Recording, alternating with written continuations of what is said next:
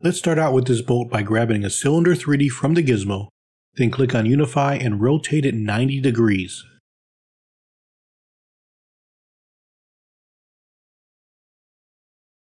Scale it down in the y-axis and delete the caps.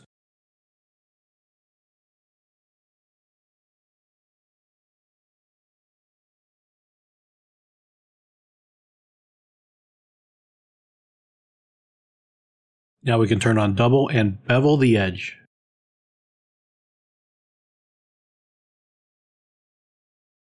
Let's delete the bevel, then unmask the open edge and blur the mask. Let's move that vertical edge about halfway up. Then we can unmask the other edge, blur it, and move that down.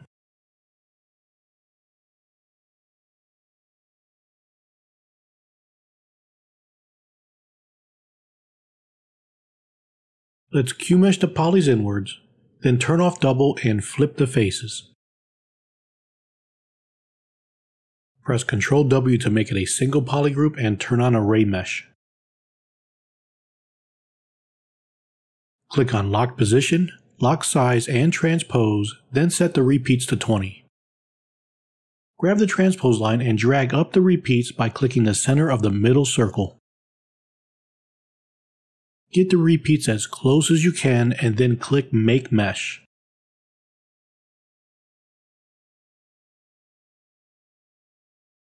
Make sure you click Auto Groups before pressing Weld Points, then click Auto Groups again to make sure all the points are welded. Select Q-Mesh Flat Island. Then we want to Q-Mesh the poly back and delete the edge loop.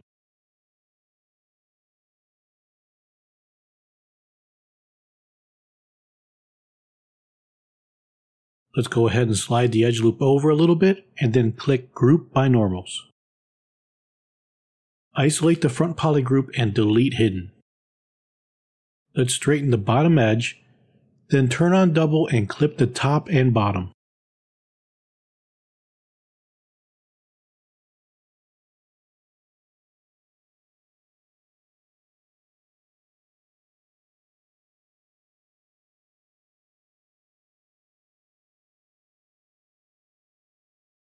Select Insert Multiple Edge Loop with Interactive Elevation.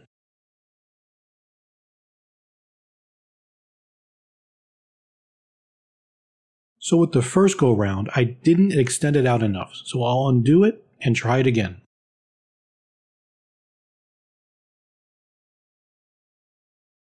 Let's click Group by Normals and then slide the points back on the top and the bottom.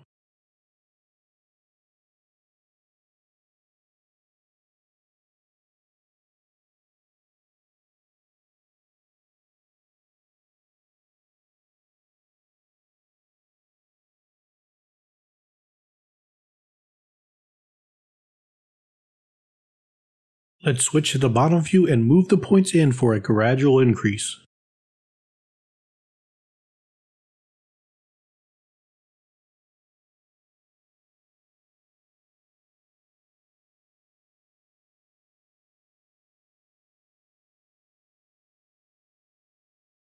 Repeat the same for the top view, and then we want to close the caps and extrude it up.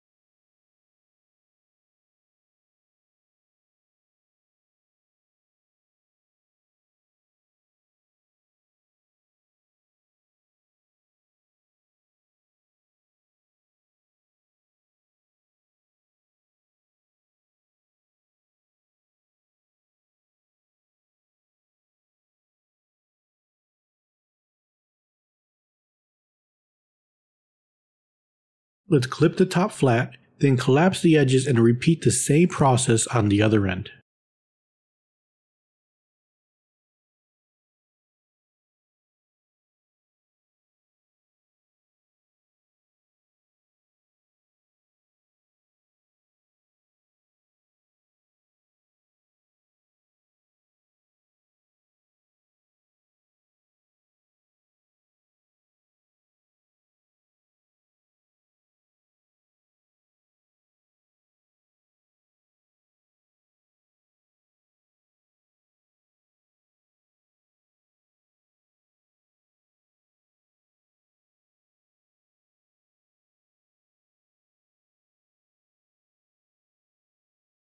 Let's go ahead and crease the edge loop and click Crease PG.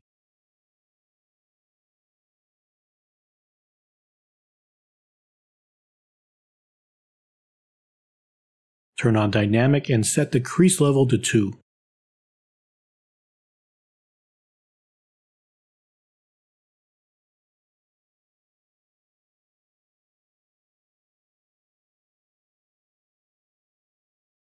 Next, we want to make some adjustments for the thread ends.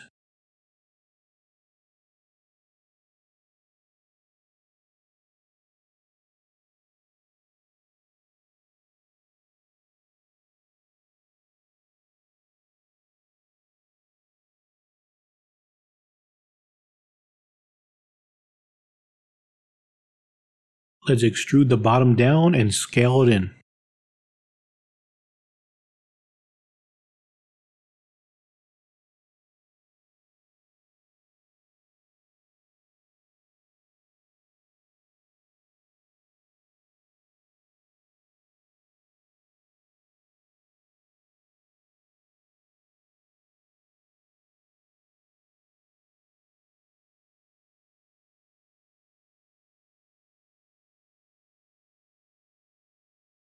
Move the top up a little bit and insert an edge loop to control the fall off.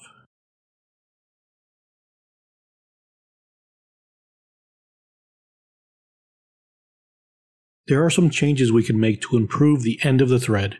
What is bothering me is the end of the thread is dipping down instead of going straight. So let's take a snapshot by pressing Shift S and fix the issue.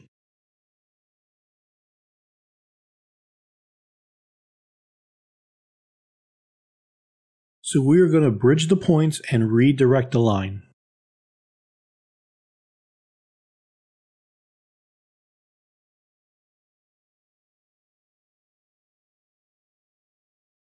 Crease the edge and turn on dynamic to see the difference.